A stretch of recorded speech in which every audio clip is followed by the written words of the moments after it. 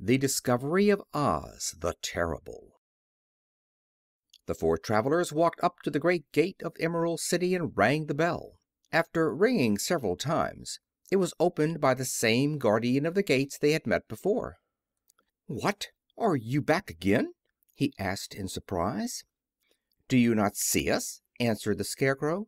"But I thought you had gone to visit the Wicked Witch of the West." "We did visit her," said the Scarecrow. "And she let you go again?" asked the man in wonder. "She could not help it, for she is melted," explained the Scarecrow. "Melted! Well, that is good news, indeed," said the man. "Who melted her?" "It was Dorothy," said the Lion gravely.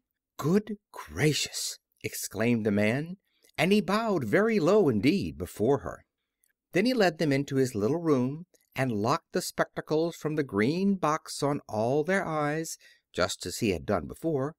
Afterward they passed on through the gate into the Emerald City. When the people heard from the Guardian of the Gates that Dorothy had melted the Wicked Witch of the West, they all gathered around the travelers and followed them in a great crowd to the Palace of Oz. The soldier with the green whiskers was still on guard before the door, but he let them in at once, and they were again met by the beautiful green girl, who showed each of them to their old rooms at once, so they might rest until the great Oz was ready to receive them. The soldier had the news carried straight to Oz that Dorothy and the other travelers had come back again, after destroying the Wicked Witch. But Oz made no reply. They thought the Great Wizard would send for them at once, but he did not. They had no word from him the next day, nor the next, nor the next.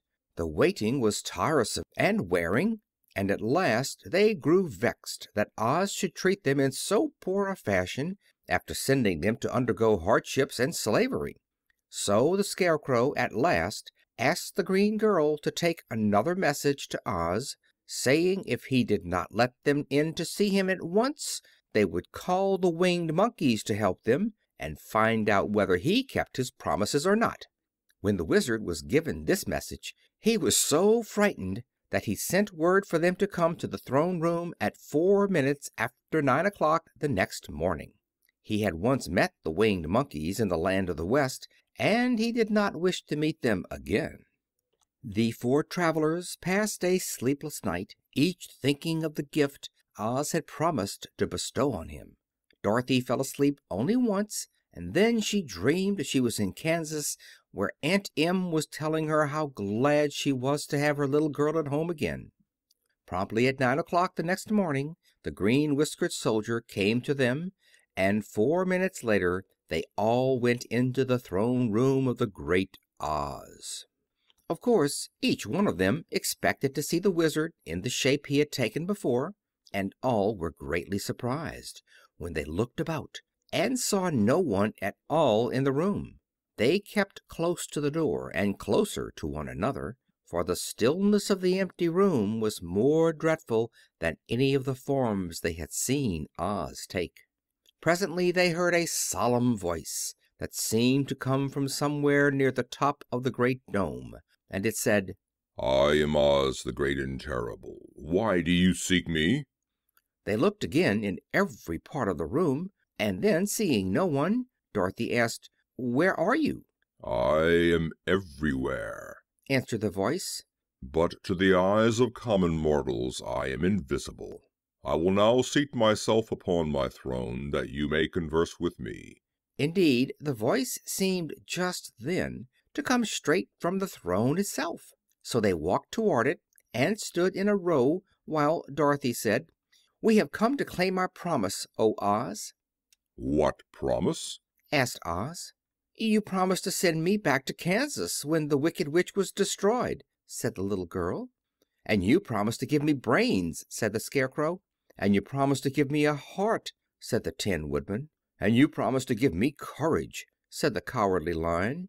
"Is the Wicked Witch really destroyed?" asked the voice, and Dorothy thought it trembled a little. "Yes," she answered. "I melted her with a bucket of water." "Dear me," said the voice, "how sudden! Well, come to me tomorrow, for I must have time to think it over. You've had plenty of time already, said the Tin Woodman angrily. We shan't wait a day longer, said the Scarecrow. You must keep your promises to us, exclaimed Dorothy. The Lion thought it might be as well to frighten the Wizard, so he gave a loud, large roar, which was so fierce and dreadful that Toto jumped away from him in alarm and tipped over the screen that stood in a corner. As it fell with a crash, they looked that way, and the next moment all of them were filled with wonder, for they saw, standing in just the spot the screen had hidden, a little old man with a bald head and a wrinkled face, who seemed to be as much surprised as they were.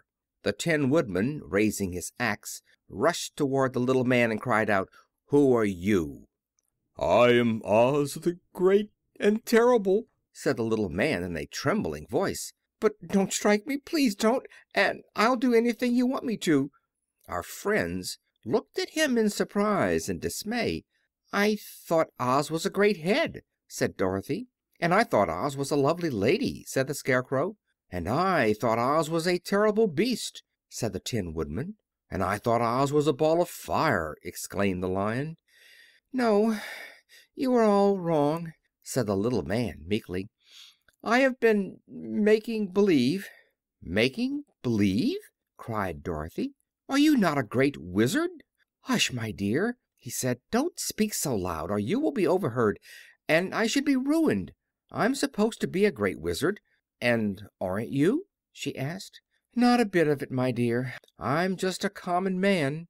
"You're more than that," said the Scarecrow in a grieved tone. "You're a humbug." "Exactly so," declared the little man, rubbing his hands together as if it pleased him. "I am a humbug." "But this is terrible," said the Tin Woodman. "How shall I ever get my heart?" "Or my courage?" asked the Lion. "Or my brains?" wailed the Scarecrow, wiping the tears from his eyes with his coat sleeve. "My dear friends," said Oz, "I pray you not to speak of these little things. Think of me, and the terrible trouble I'm in at being found out." "Doesn't anyone else know you're a humbug?" asked Dorothy. "No one knows it but you four, and myself," replied Oz. "I have fooled everyone so long that I thought I should never be found out. It was a great mistake, my ever letting you into the throne room. Usually I will not see even my subjects, and so they believe I am something terrible." "But I don't understand," said Dorothy in bewilderment. "How was it that you appeared to me as a great head?" "That was one of my tricks," answered Oz. "Step this way, please, and I will tell you all about it." He led the way to a small chamber in the rear of the throne room, and they all followed him. He pointed to one corner, in which lay the great head, made out of many thicknesses of paper, and a carefully painted face. "This I hung from the ceiling by a wire," said Oz. "I stood behind the screen and pulled a thread to make the eyes move and the mouth open." "But how about the voice?" she inquired. "Oh, I am a ventriloquist," said the little man. "I can throw the sound of my voice wherever I wish, so that you thought it was coming out of the head. Here are the other things I used to deceive you."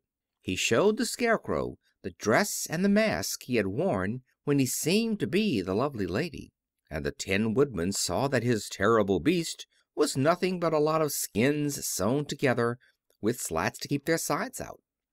As for the ball of fire, the false Wizard had hung that also from the ceiling. It was really a ball of cotton, but when oil was poured upon it the ball burned fiercely. "Really," said the Scarecrow, "you ought to be ashamed of yourself for being such a humbug." "I am I certainly am," answered the little man, sorrowfully. "But it was the only thing I could do. Sit down, please. There are plenty of chairs, and I will tell you my story." So they sat down and listened while he told the following tale. I was born in Omaha. "Why, that isn't very far from Kansas!" cried Dorothy. "No, but it's farther from here," he said, shaking his head at her sadly. "When I grew up I became a ventriloquist, and at that I was very well trained by a great master. I can imitate any kind of a bird or beast." Here He mewed so like a kitten that Toto pricked up his ears and looked everywhere to see where she was. "After a time," continued Oz, "I tired of that and became a balloonist." "What is that?" Asked Dorothy. "A man who goes up in a balloon on circus day so as to draw a crowd of people together and get them to pay to see the circus." "Oh," she said, "I know.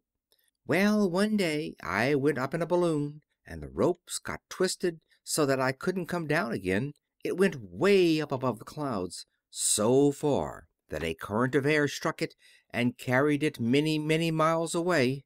For a day and a night I traveled through the air, and on the morning of the second day I awoke and found the balloon floating over a strange and beautiful country.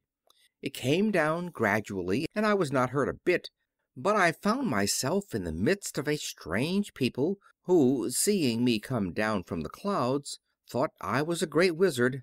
Of course I let them think so, because they were afraid of me, and promised to do anything I wished them to. Just to amuse myself and keep the good people busy, I ordered them to build this city and my palace, and they did it all willingly and well. Then I thought, as the country was so green and beautiful, I would call it the Emerald City. And to make the name fit better, I put green spectacles on all the people so that everything they saw was green. "But isn't everything here green?" asked Dorothy.